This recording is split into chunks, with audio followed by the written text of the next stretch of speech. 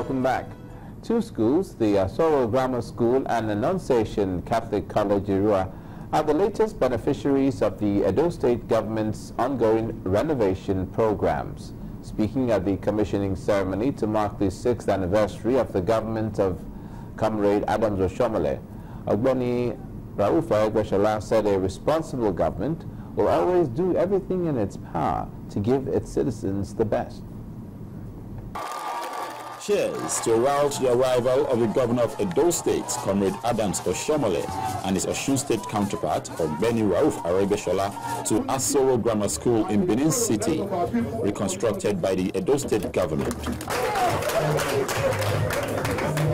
Before now, this school had been a sorry sight, a feature that characterized about 500 schools across the state but that appears to be changing, and the students of Asoro Grammar School can't hold back their appreciation for the government's effort. Before in Asoro Grammar School, we had no chairs in the school. I put there was no, there was no, uh, there was no roof. Whenever we went for, so no roof. So the back of the school said thank you, sir. Many people love that. At the Annunciation Catholic Church, students and their parents turn up to celebrate what they describe as the dividend of democracy. He has renovated the school, yes, we like that. You know, this we are not living in a computer age, it's a modern life. Yes, we want to live big, the fans are blowing us, you know, living in a good and a well-tied uh, classes. Governor Oshiomhole says his decision to invest in education was fired by the desire to give equal opportunity to every Edo indigent. We insisted that public schools should have a common identity, same specification, regardless of their location, so that government will not have to pick and choose which quality of school should be found in any particular location for Governor Aregbesola, these students now have an opportunity to aspire for a greater tomorrow. The greatest gift you can have from your parents, from every responsible government, is education. What do I say? The visiting governor also commissions the Izwa Zenema Road in Eastern North local government area of the state. He said besides the basic artwork, enjoy 150 mm of crushed stone, stone base. Then binding course and wearing course. In simple language, what he's telling you is that this road will last for 50 years. In the meantime, the Edo State government has promised that there is no going back on its plans for massive infrastructural overhaul across the state. And now to our community report. These are not the best of times for traders at the new layout market in Port Harcourt, Rivers State, as victims of a fire incident at the market count their losses. The Rivers State government has promised, however, to reach out to the affected traders, but some of them say the government must be sympathetic to their plight and called for serious action. Etisalat, now your choice.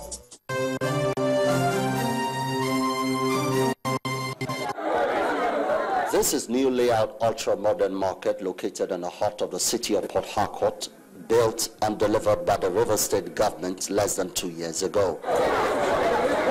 Life is normal for the traders here until tragedy strikes. 80 shops are razed down by fire, properties worth millions are lost, and the victims watch with sad faces as their entire livelihoods seem to fade away with the smoke from the inferno. I suffered. I have to borrow money and begin to start business and to sell. But last night as I closed, I locked my shop and went home. As I was reaching house, they were calling me that my shop has burnt down. Market is on fire. I came, I could not enter my shade. The place was on fire. I don't know what to do. I lost everything, everything, nothing, nothing, nothing. I cannot go there and pick nothing.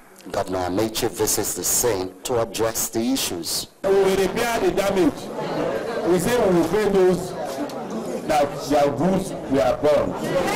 When we pay them, when we give them some money, we will at the same time repair the stuff. But this promise from the governor does not seem to satisfy a few of the traders who say they have heard similar tunes in the past. Life has been hell because you can see I'm just starting from a scratch as if I had nothing before. It has not been. We only need the government to come to our age. I just want. Yes, he promised, but we are still waiting for it. I'm tired of everything because if I could recall, 2007, I was a victim of fire incidents. Everything got burned and we were forced to write name. Later government will help us, but nothing was done. When we went to Lagos bus stop, suffered. We come back here, we paid everything, we do everything. But, and they were assured us of uh, nothing like fire. The Commissioner of Special Duties tells Channels Television that the market was built to decongest the Creek Road market and make life better for the traders in the community. Well, I will tell you one thing about the new layout market. It's a complete ultra-modern market, fully packaged for any eventualities. Let me also tell you that there is a fire station that's also built within the market. We, had, we have a pumping machine to pump water. There is a reserve tank. Then we also have a giant generator, and a generator that can power the, the entire market. But to our chagrin, we discovered that these material, these facilities were vandalized. It appears, however, that some traders have issues with that arrangement. Most of the stores now are not even allocated. The government, you know, is that most of the people that we are selling there before do not even have store now. Those that have, uh, you know, they divide it to their political friends and, you know, it's not easy to have, for a trader, a common trader to raise up one million or 500,000 to pay for a store, is, you know, it's expensive. An average trader in this market lives from hand to mouth as the earnings from each day puts food on the table. This certainly is not the best of times for them. For the victims of this inferno, this is a tragedy that I hope will pass away quickly like a bad dream. But for some, it may remain a nightmare for a long time to come. Emmanuel Iri, Channels Television News.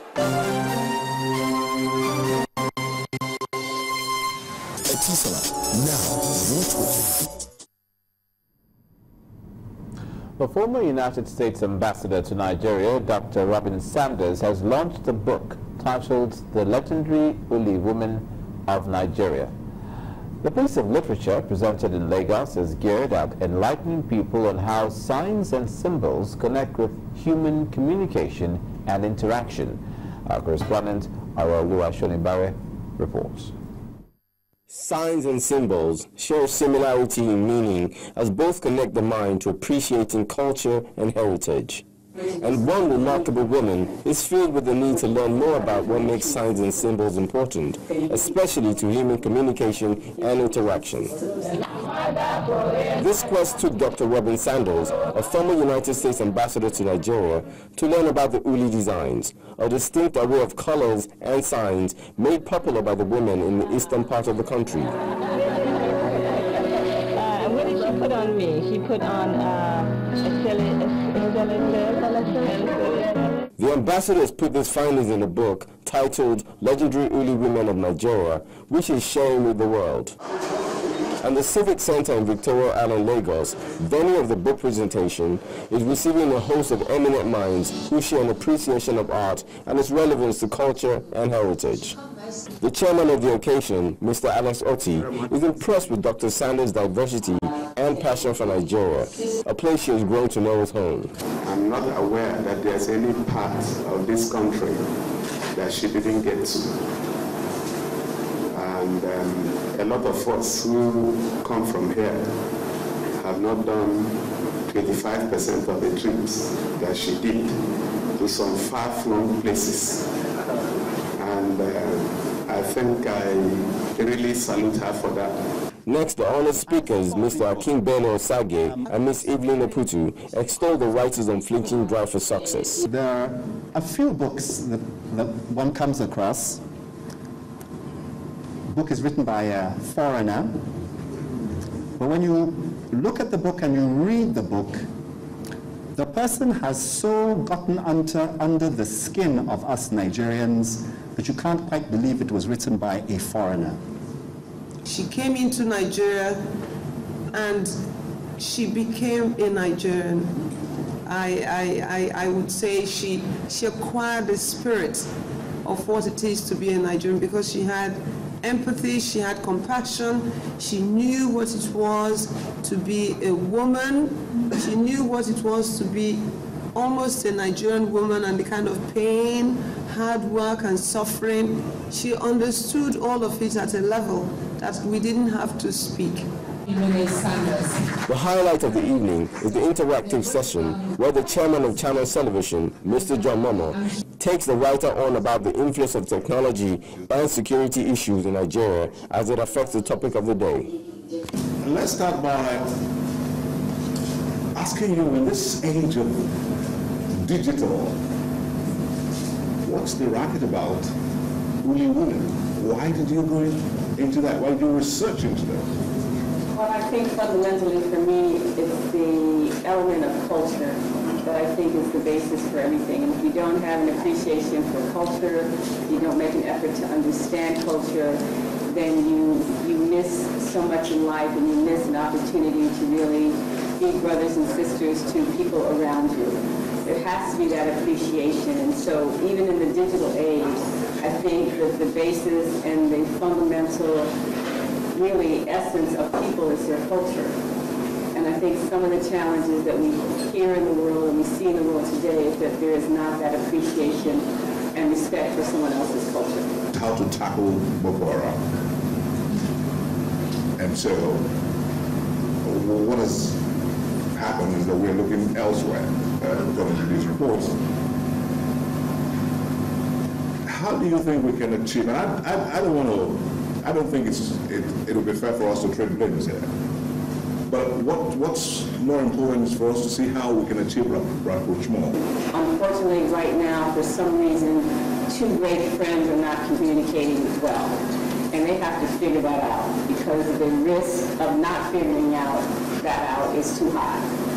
Uh, it's too high for everybody. It's too high for the friendship, and it's certainly too high for those people on the front lines of the conflict. The guests do not just leave with the author's signature, but most importantly, with a deeper appreciation of holding on to what makes a nation truly great. Identity. Orolu Ashenibare, Channel Television News. Femme Fatale is a group exhibition by eight female artists at the Ford Foundation in Lagos. Now, the artists use their works of art to address some societal issues that affect women. On Art Review tonight, we look at Femme Fatale.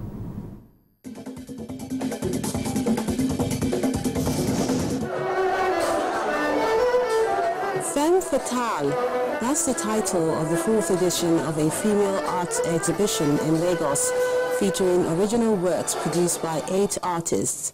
As expected, the theme has women on it. They also work with an array of media. Tina Adebowale uses mixed media in these paintings titled Naked Truths. They explore the politics and sexuality of the female gender through issues such as rape and other forms of abuse she experiences daily, and how the society is not taking a firm stand to protect the girl child. Then there are pictures from Genevieve Akan, a documentary photographer who looks at the masked woman. If I tell someone I'm a photographer, they look at me like, hmm? Like, really? You know why? I'm more than what you see. If you give me that opportunity or that chance. Just as the title suggests, there are several pictures showing a lady wearing a mask by the dining table or in the parlor. There's also a lovely black dress and a pair of shoes, indicating the woman's ability to multitask. Yet in the heat of it all, she remains calm and submissive. And this picture was also put into a performance, showing a single woman who is lonely and trying to cope with the stigmatization that comes with this status in the African society. There are so many things on Karima Ashadu's mind, as depicted in this HD digital film, in which a chance meeting with a stranger turns into a heart-to-heart talk about issues that affect women. Other artists like Elysia Bolarushi are also inspired by movies. It shows in her concept called Thea Kuta, a weaving method which originated from the need to use yarn as an alternative tool for painting. The constant is the yarn. I always work with threads, wool, fabric as an alternative tool for painting. And basically I'm basically focused in geometry. That's my main subject. So it's color and geometry. So I started painting with uh, yarn, I started doing sculpture with yarn, and then I started inserting light, so developing uh, actually installation with uh, lamps. And there are so many interesting interpretations seen through the eyes of four other minds who are hoping to change the fortunes of women for the better, or at least call attention to some of these issues with their works of art.